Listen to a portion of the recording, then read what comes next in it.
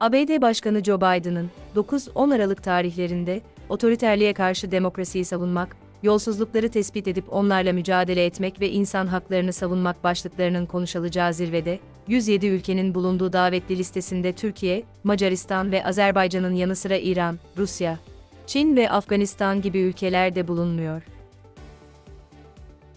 Rekabet Kurumu Başkanı Birol Küle, Rekabet Kurulu tarafından zincir marketlere kesilen 2.7 milyar liralık rekor cezanın ardından yaşanan tartışmalara ilişkin değerlendirmede bulundu. Küle, zincir marketlere kesilen 2.7 milyar liralık rekor cezanın fahiş fiyat artışından değil, kartelleşme suçundan verildiğini belirterek, her şey usulüne uygun şekilde yapılmıştır, dedi. Eskişehir Odunpazarı Belediye Meclisi Kasım ayı ilk oturumu, CHP'li Odunpazarı Belediye Başkanı Kazım Kurt Başkanlığında yapıldı. Toplantıda konuşan, CHP Meclis Üyesi Kadir Kodak, AKP iktidarı döneminde satılan tesislerin 17 sayfa, 229 satırlık listesini açtı. Bunun üzerine, AKP meclis üyeleri tepki göstererek salonu terk etti.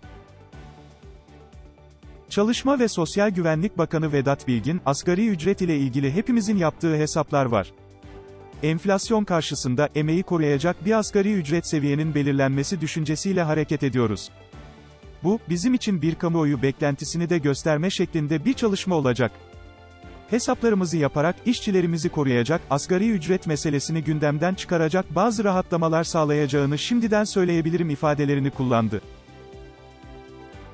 ABD Senatosu, Dış İlişkiler Komisyonu Başkanı Demokrat Senatör Bob Menendez, savunma politikaları ile ilgili olarak Türkiye ve Azerbaycan hakkında iki değişiklik önergesi sundu. Önergede senatör, Türkiye'nin siyah satışlarını tehlikeli, istikrarsızlaştırıcı ve barış ve insan hakları için bir tehdit olarak nitelendirdi.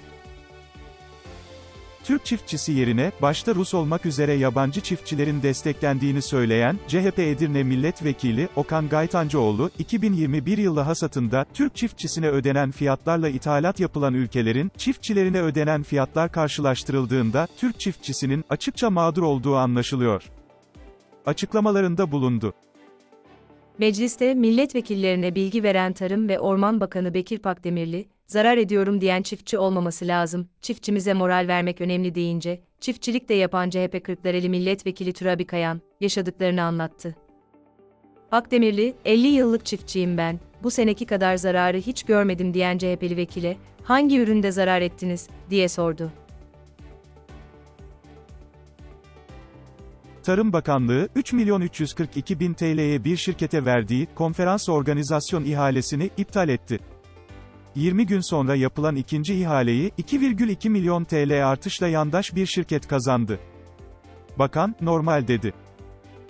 Türkiye Cumhuriyeti Devlet Demiryolları'nın, Ankara, İstanbul Demiryolu ikinci kesim projesinde yapılan yolsuzluğa yenisi eklendi.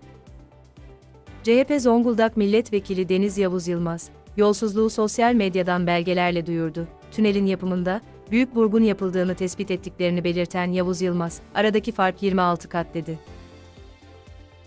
CHP İzmir Milletvekili Atilla Sertel, İletişim Fakültesi mezunu binlerce genç işsizken, TRT'ye sınavsız ve liyakatsiz olarak yüzlerce kişinin alındığına dikkat çekti.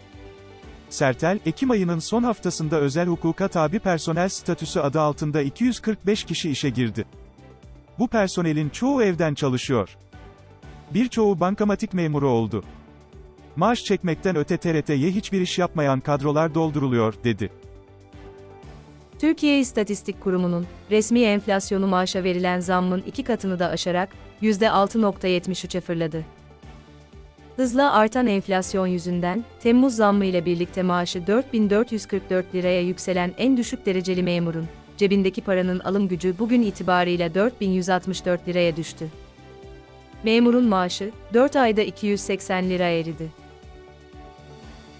Dünya Sağlık Örgütü'nün resmi internet sitesinde yazılı açıklamada bulunan örgütün Avrupa Bölge Direktörü Hans Kluga, bugün Avrupa ve Orta Asya'daki her ülke yeni bir dalga tehdidiyle karşı karşıya ya da hali hazırda bu dalgayla mücadele ediyor. Örgütün Avrupa bölgesindeki 53 ülkede virüsün mevcut yayılma hızı ciddi endişe kaynağıdır. Covid-19 vakaları, bir kez daha rekor seviyelere yaklaşıyor ve daha bulaşıcı Delta varyantı, Avrupa ve Orta Asya'da, hakim olmaya devam ediyor ifadelerini kullandı. CHP Genel Başkanı Kemal Kılıçdaroğlu, Kanal İstanbul ile ilgili, Kanal İstanbul ihalesini hiç kimse almayacak, alan olursa çok ağır bedeller ödeyecek, ister içeriden, ister dışarıdan, bu coğrafyaya ihanet etmek üzere açılan ihaleyi birisi alıyorsa ve iklim krizinin bu kadar yaygın olarak konuşulduğu dünyada, siz hala İstanbul'a ihanet etmeye devam edecekseniz ve bunun ihalesi açılacaksa, ihaleye giren ağır bedeller ödeyecektir.